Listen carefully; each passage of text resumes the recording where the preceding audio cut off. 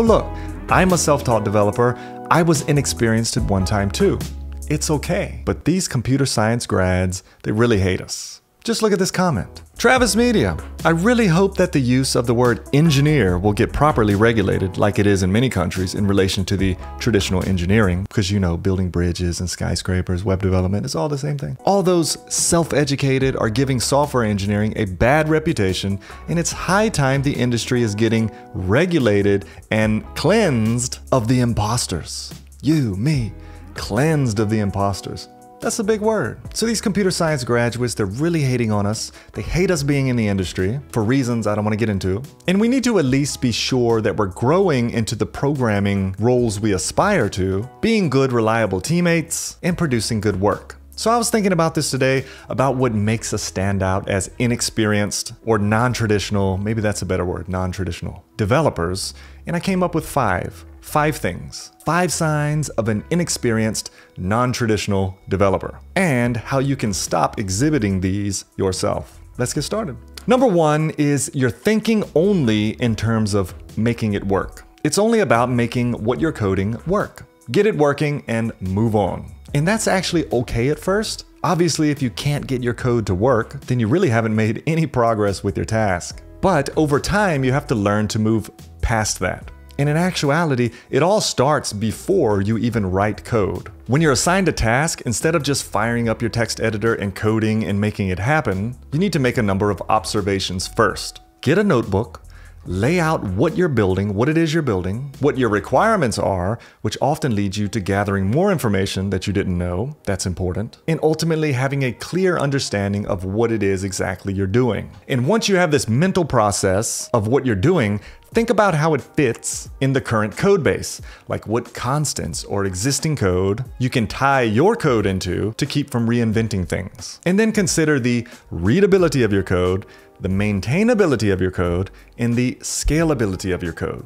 It's more than just making it work. The second sign of an inexperienced, non-traditional dev is that they make huge changes to the codebase at once, meaning your pull requests are too big to make sense of. They're too big for any meaningful comments or remediation. In not checking your code in often, you can introduce problems that are harder to diagnose because of all the changes to the codebase that you've introduced. A pull request should really just have one cohesive feature that you're working on, not multiple. And if that feature is big, then perhaps it should be broken up into multiple logical parts. So commit often and make sure to test each commit. If you've sketched or planned out your feature first, like I just mentioned, you probably have ended up with a checklist of steps to get your feature working. And every time you check off a step or a task, test it and commit it. And once the feature as a whole is fully working and tested, then push your code up and create the PR. Here's a good example that I came across. I commit every time I finish a unit of work, but don't push my code to the server until the feature is fully complete. I'll try to elaborate with an example. Say my job is to develop a login system for some website. I would write my class for a user, then commit. Then I'd create the HTML form to accept the username and password, and then commit. Then I would add the appropriate validation, making sure the password's long enough, making sure the email's valid, things like that, and then commit. That's three commits. This could be three commits in one day or spread over multiple days. It depends on how long each unit of work takes.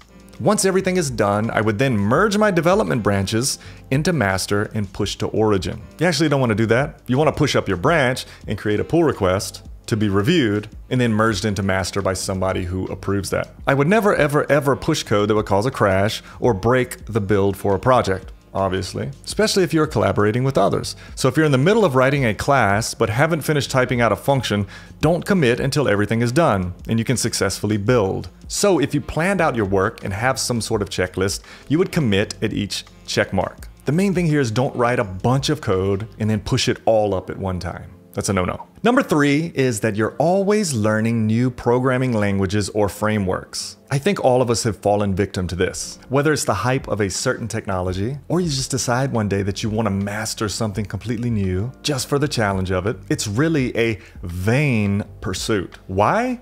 Well, I'm all for you being a constant learner. That's a good thing. You ha actually have to do that in this industry. You have to always be learning. But the question is, what are you learning? It's much more beneficial to be learning and mastering the concepts of programming and how things are really working than learning many different languages, which to be honest, Each one's just a new syntax, it's just a new language. Why do that?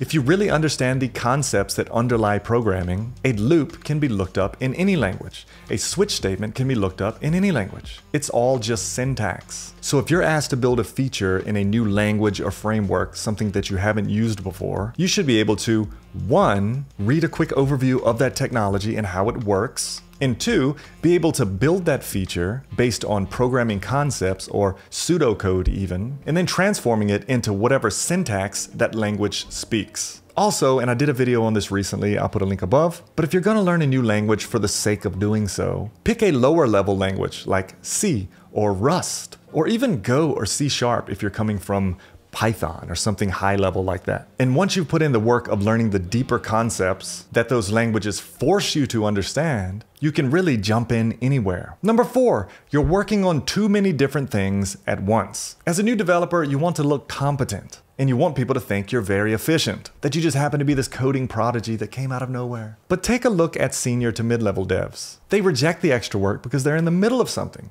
They're in the middle of one thing. They have a really good grasp on that one thing and the requirements for that one thing and they get it done well. You, on the other hand, have three things going on, of which you still don't fully understand, and your brain is having to jump back and forth between them. As a new dev, don't be embarrassed to say, I'm currently in the middle of something, let me get this done first, and then I'll jump on that. Stop volunteering for everything. Get your one assignment, understand the requirements well, and then knock it out the park. Be a dev that always delivers over one who is always in the middle of 10 different things and always has to give updates and excuses for all the things you're doing. Take one task assignment at a time and complete it. And commit to a new task only when the previous task is delivered as requested. In fact, building software is a slower process than you think, especially if you want to do it right. And then number five is you don't really want others seeing or critiquing your code. If you did, they'd probably be suggesting that you do things differently or speak on how inefficient or unreadable it is. And you don't want to touch it again because you got it working and you wrestle with it so long you're sick of it. And we just don't like the criticism as new developers. Strangely, we want them to praise our super complex and unmaintainable code. But thankfully, there are code reviews and there's gates set up so that senior devs will have to approve or reject